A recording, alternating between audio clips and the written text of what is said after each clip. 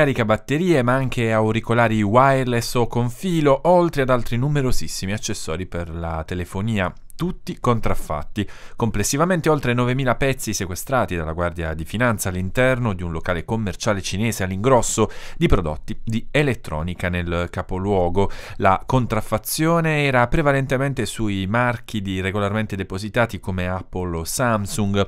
Il controllo delle fiamme gialle di Bari è scattato anche a seguito di diverse segnalazioni da parte di alcuni commercianti della zona che lamentavano l'illecita concorrenza praticata dall'imprenditore cinese con la messa in nel proprio deposito di accessori di telefonia a prezzi molto bassi. Gli approfondimenti dei finanzieri dopo il controllo hanno consentito di appurare che si trattava di prodotti contraffatti, immediatamente sequestrati prima che potessero andare a rifornire i dettaglianti della provincia barese.